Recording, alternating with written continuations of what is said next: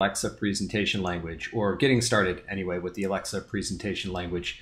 The uh, Alexa presentation language, or APL, is really new. So today is November 2nd, 2018, and it was announced or released to public beta in October 30th, so just a few days ago. And I'm uh, just getting going with it myself, so um, I this is just going to be an introduction video, and then as I get more familiar with it, I'll put out some more stuff. So I'm going to start with a template from skilltemplates.com. I don't have a, uh, a template up yet for the uh, APL, but I'm going to start with the, um, the basic starter and then uh, enable it so that it can use the uh, APL stuff. So I will, with that, jump in and, uh, and get going. So um, ask the, uh, if you haven't used skill templates, it uses the, the ask CLI. So ask new and I'm going to use the uh, basic starter template. template.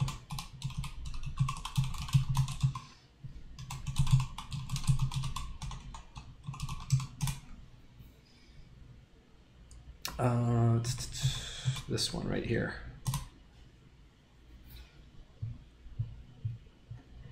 And there are um, there are four things that you need to do to uh, to enable the um, the APL and start working with it. So the first thing that you need to do is you need to um, change. You need to you can do this through the web console or you can do it through the uh, the skill manifest. I'll show you both ways. So, uh, but you need to enable support for uh, the presentation language. So um, if you go to developer.amazon.com, I'm gonna let me deploy this skill real quick so we can see.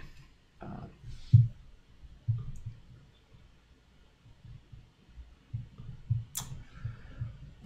ask deploy.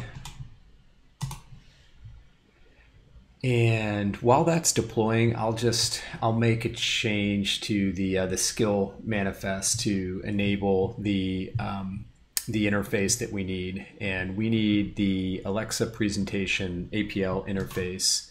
And that is going to go in the uh, custom section of the API. So like right here, manifest, and then um, APIs, and then custom endpoint, and then like right after this, we want to add this in. So this interface is, so this is going to enable the uh, presentation uh, language interface.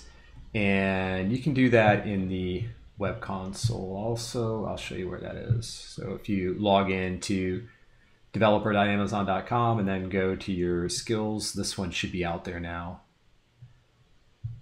Yep. Okay, this basic starter, this is the one I'm using.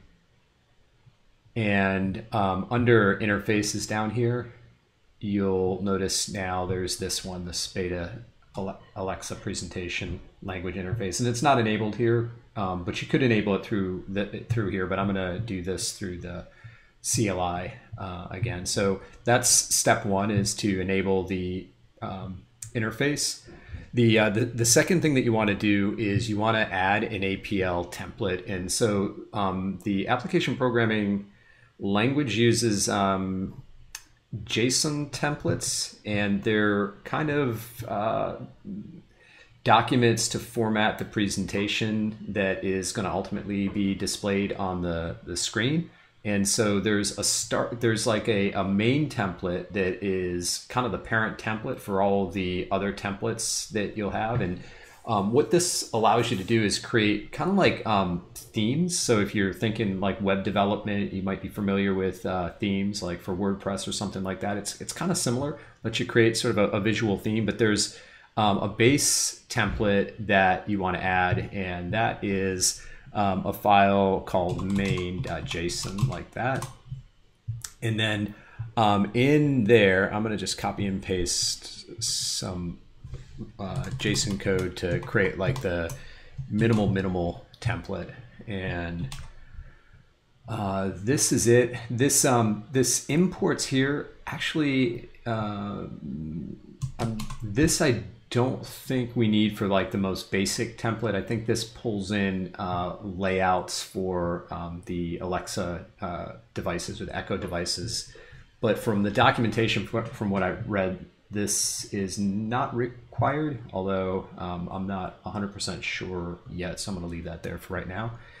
Um, so that's the second thing that we need to do is create our, our main JSON. And then the what we need to do from there is um, just require that file uh, so that we can access it.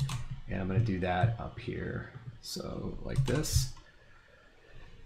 Um, and then um, then we can use it. So there's a, a directive that we can add that um, we'll do through the response builder. And the directive, this um, add directive is the alexa.presentation.apl.render document. And I'm just referencing that main document that I pulled in up here.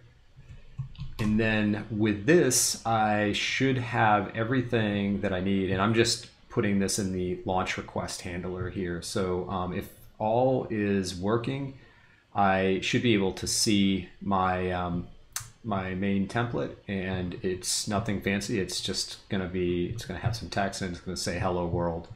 And so let me deploy this and see if that all worked. Uh, yeah, I've got to deploy everything here. Um, so this is going to take a sec second, so I'll, I'll pause and then I'll come right back. Okay, so now it is all deployed. We can go test it out. So I'll go over here and um, uh, let's see.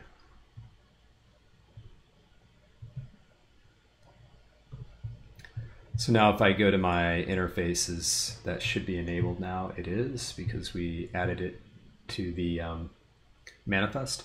And so now we can go over here to test and the invocation name for the basic starter is, what is the invocation name for the basic starter? I think it is greeter. That's the default for the CLI new uh, basic starter. Okay. So then over here we would test by just going open basic starter. That. Hello there. What is your name? Okay, and down here, again, super simple, but this is uh, this is showing our presentation language generated or presentation language template that generated this uh, this hello world, and that is as far as I'm going to go in this video. Um, there's some documentation that uh, I'll, I'll leave in the notes on you know the uh, the, the, syntax and stuff stuff for the uh, uh, for the templates themselves. And I will do uh, I'll do a follow up video once I get deeper into this on uh, on using the presentation language. But I thought this would be a good place to start. Just a simple let's uh, how to get it up and going. It's pretty pretty straightforward. If you have any questions, you can leave those in the comments, and I'll respond just as quickly as I can. If you found this valuable, please like the video and subscribe to the Dabble Lab channel. Thanks so much.